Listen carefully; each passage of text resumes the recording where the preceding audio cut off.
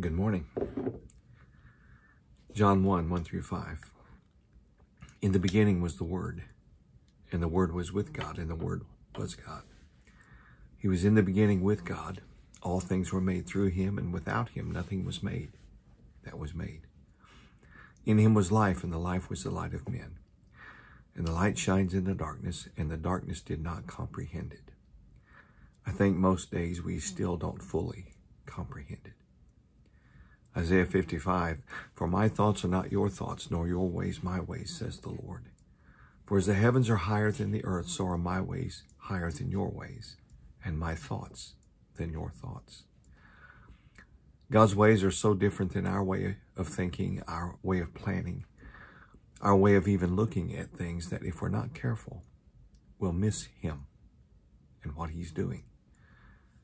In Luke 2 1 through 5, and it came to pass in those days that a decree went out from Caesar Augustus that all the world should be registered. This census first took place while Quirinius was governor in Syria. So all went to be registered, every one to his own city. Joseph went up from Galilee out of the city of Nazareth into Judea, into the city of David, which is called Bethlehem, because he was the house and lineage of David, to be registered with Mary, his betrothed wife, who was with child. In the hustle and bustle of everyone in Israel trying to get to their hometown, their birthplace, no one noticed a young pregnant woman with her carpenter husband make a journey to Bethlehem. No one comprehended what was about to take place. The greatest birth in history, in the world, was about to take place. And no one noticed.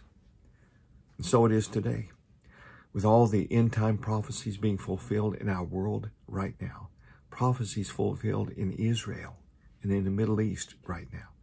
If we're not careful, if we're not watching and listening and waiting, we'll miss what God is doing in His church, birthing in His people, the greatest move of God sweeping this world in unknown, overlooked places, in unknown, overlooked churches. Let's pray. Father, we're at the time of year to celebrate the birth of Jesus. We've read the story so often, I think we've gotten used to the way the story is, has been told, and instead of the way you want us to hear it. Jesus, you didn't come the first time with blaring trumpets and banners waving. You came unnoticed by most of the world. Lord, open our eyes to see what you are doing right now in your church. Open our ears to hear what you are saying to us, what you are needing us to hear.